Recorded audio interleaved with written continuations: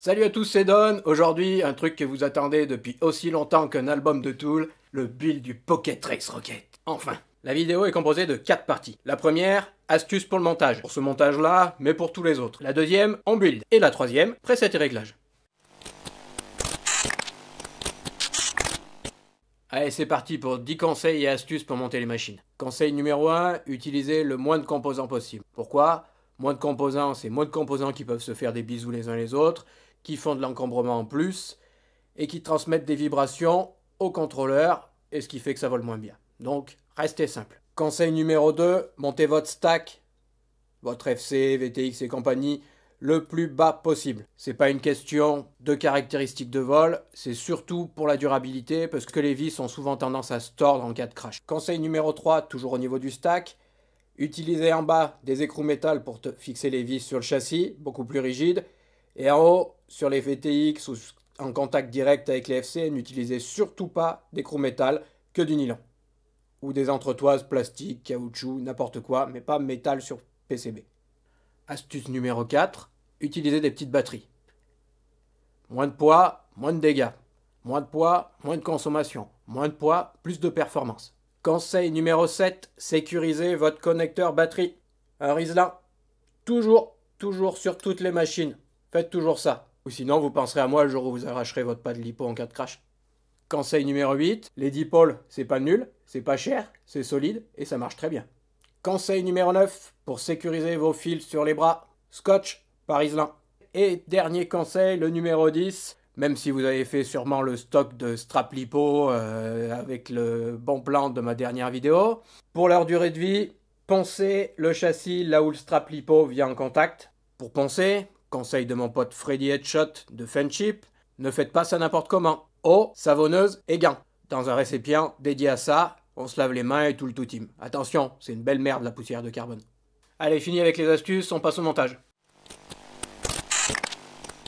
Avant d'attaquer le montage, premièrement, l'AFC, bon point, elle arrive sous 4.2.5 que j'utilise pour mon preset, donc on va pas flasher. J'utilise la même orientation que sur le Cine 8, c'est-à-dire port USB et XT30 vers l'avant et les antennes à l'arrière. Pas de remapping moteur et d'orientation de FC à faire. Ça a le gros avantage pour moi de pouvoir monter les VTX triangulaires le plus bas possible. Et en parlant de ça, je monte maintenant mes VTX euh, triangulaires, le Diamond ou les 400 mW, connecteur vers le bas, parce que c'était bien pratique de mettre la cam entre les deux, mais le problème c'est qu'en cas de crash, on arrache les connecteurs. Donc euh, voilà, connecteur vers le bas. Rapidement la visserie, je vous ai tout dit sur ma précédente vidéo de préparation. C'est tout du M2 bien sûr.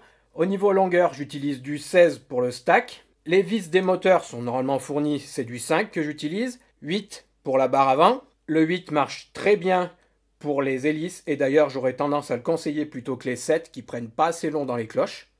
Et pour la caméra, c'est fourni avec normalement mais c'est du 3. Petit aparté rapide au niveau de la compatibilité Vista, c'est malheureusement pas compatible. J'ai rien fait sur mon châssis pour. Après, c'est une fixation 25 par 25, donc si vous trouvez une canopie qui est capable d'intégrer le Vista dedans et de se fixer sur un Antrax 25-25, faites votre montage, mais ça ne sera pas comparable en durabilité avec ce montage-là. Allez, let's go pour commencer, la FC vient généralement avec tous les connecteurs soudés dessus. Mais personnellement, je vire tout ce qui me sert pas, le buzzer et le connecteur RX. Je raccourcis le connecteur VTX et je tourne le XT30 vers l'extérieur. Après, on va enlever les connecteurs moteurs. Les connecteurs moteurs, je remercie mon pote Seb qui m'a donné l'astuce tout à l'heure. En fait, il se casse tout seul. Vous les pliez quelques fois comme je le montre sur la vidéo et vous verrez qu'il casse. Sinon, la technique propre pour faire ça, vous la trouvez dans ma vidéo de montage de Tiny, là-haut. Une fois que vous avez ressoudé votre XT30 euh, et votre connecteur euh, VTX, vous pouvez tamer tous les pads pour les moteurs. Et dernier truc chiant pour que la FC soit prête, il faut mettre les petits cils en bloc dedans. Et je les coupe personnellement à 2 mm dépassant de la FC avec une petite pince coupante. On prend maintenant la frame et on monte les vis dessus. Comme je vous l'ai dit tout à l'heure, on n'oublie pas, on met des écrous métal en bas pour bien que les vis soient tenues. Une fois que c'est fait, on peut monter la FC, on met les quatre moteurs en place. Et voilà ma petite technique pour bien couper les câbles moteurs à la bonne longueur. Vous les faites suivre le chemin jusqu'au pad, vous coupez 2 mm au-dessus à la pince coupante et c'est nickel en général. Deux techniques pour souder les moteurs différentes. Soit vous le faites sur le châssis, soit vous le faites à côté. À côté, c'est bien parce que vous êtes moins emmerdé par les vis qui dépassent et le reste, vous êtes plus libre, mais repérez bien la position de vos moteurs parce qu'ils n'ont pas les fils toutes de la même longueur. Une fois que c'est fait, à vous de choisir si vous voulez torsader les fils moteurs ou pas. Je ne le fais plus, moi personnellement. On va maintenant placer les antennes. Les deux sont à placer obligatoirement. J'ai fait le test avec une seule antenne, ça m'a fait foirer deux éliminatoires aux ailes gauloises. Je suis tombé dans l'herbe humide, j'ai pas pu repartir parce qu'en fait j'avais que celle sur le bras. Donc les deux antennes, une sur le bras, montage classique sur un collier riselant avec un morceau de gaine thermorétractable. Et la deuxième, comme je vous ai dit, si vous avez bien imprimé votre canopie sans remplissage, vous pouvez aussi le percer au fer à souder par en dessous et passer votre antenne dans un bout de gaine thermo dedans. Et voilà, les deux antennes sont bien placées, bien protégées. On profite qu'on a le fer à souder chaud pour faire le passage pour l'antenne ici et une petite ouverture dans l'aileron pour passer un collier riselant pour l'accrocher bien proprement. Et encore une fois, quand on a fait ça avec son fer à souder, on nettoie bien sa panne et on la réétame tout de suite derrière. Le scotch d'électricien pour protéger et tenir en place les fils moteurs. On accroche son XT30 les enfants. Hein. Une fois que la canopie est prête, on y met la caméra. Le VTX qui rentre par là. On connecte tout ça.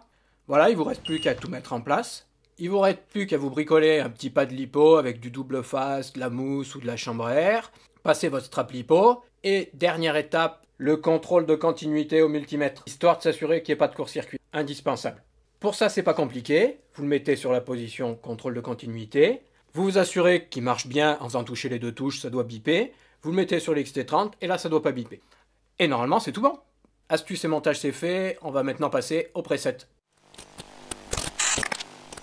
On commence par Betaflight. De ce côté-là, je vous ai mis deux diffs sur mon Google Drive, une version complète pour utiliser sur cette machine où il vous restera qu'à calibrer l'accéléromètre, euh, régler vos auxiliaires comme vous le faites d'habitude et choisir le protocole radio. Le deuxième diff est une version light comme indiqué où j'ai viré tout ce qui pouvait être inutile. Il n'y a plus les aux, il n'y a plus euh, a rien, il n'y a que les et les filtres à utiliser sur les machines équivalentes que ça soit en 3 ou 4S 5000 kV. C'est ce qu'utilise mon pote Aurélien et il n'y a aucun problème, ça marche très bien. Ou alors sur tous les montages TikTok Pic 3, 3 pouces 3S ou, euh, ou ce qui s'en approche.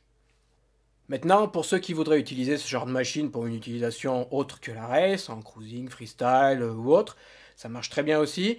De ce côté-là, c'est très simple, on touche pas au PID. Donc qu'est-ce qu'il vous faudra pour faire ça? Vous pouvez mettre une limite moteur ou une limite throttle, Déjà, ça limitera un peu la puissance. Ensuite, baissez l'iterm relax. Il est, il est à 35 d'origine, vous mettez en 15 et 20, ça rendra déjà la machine un peu moins réactive. Et le dernier point, c'est l'atténuation du feed forward au centre du stick, que je mets à 0 en race, mais j'ai en général tendance à utiliser plutôt 0,2 pour les autres utilisations. Maintenant que ça c'est fait, on va pouvoir passer au sens d'orientation des moteurs et au firmware ESC. Le preset est en props out, sens de rotation des hélices inversées, et filtre RPM, donc il faudra un firmware ESC compatible. J'utilise personnellement BLIM de Jazz Maverick en version 16.9. Sur lien là en dessous, et rentrez tous les réglages dans la colonne de gauche comme je vous le montre là-haut. Et ben voilà, vous êtes arrivé. C'est fini, la machine est prête à casser du full et bouffer du gazon. Je pense ne rien avoir oublié, sinon vous savez où ça se passe. Hein, On se retrouve prochainement avec le PCR, Pocket Cinématique Rocket. Ouais, j'ai craqué pour la Go 2. Je regrette pas, sauf que le lendemain j'avais un écran de mes lunettes qui me lâchait. Ça vole très bien un œil. Hein. Je vais aussi ressusciter ma frame 6 pouces, dessinée il y a deux ans, à l'époque où il n'y avait encore pas de moteur et d'hélice, parce que les gens ils avaient pas compris que l'ultralight c'était génial pour le long range avec des moteurs pas de chez Happy Model, parce que j'en ai ras-le-bol. J'ai quitté le fini les 2-3 projets en cours, j'utiliserai encore certains de leurs produits, mais faut que j'aille voir ailleurs. Très rapidement, comparatif Pocket Trace Rocket, Slow Trainer, euh, pardon, Tiny Trainer. Et bisous Pocket Trace Rocket 3 euh, pouces 3S, 12 4 6500 kV, Crazy BF4 Pro V3 avec une Alien Model 3S 650 HV qui a pris une bonne grosse tanche la semaine dernière.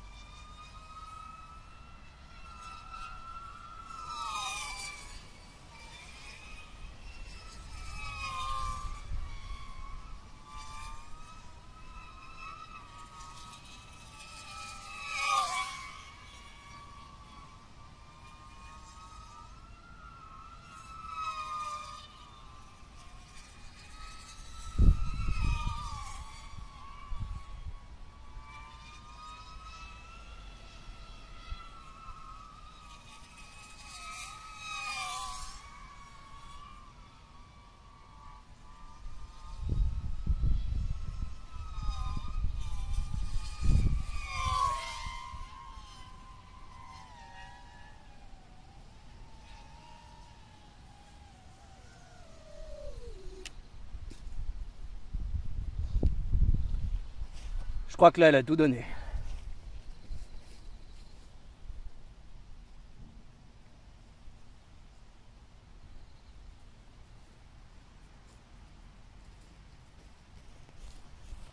Elle a pas gonflé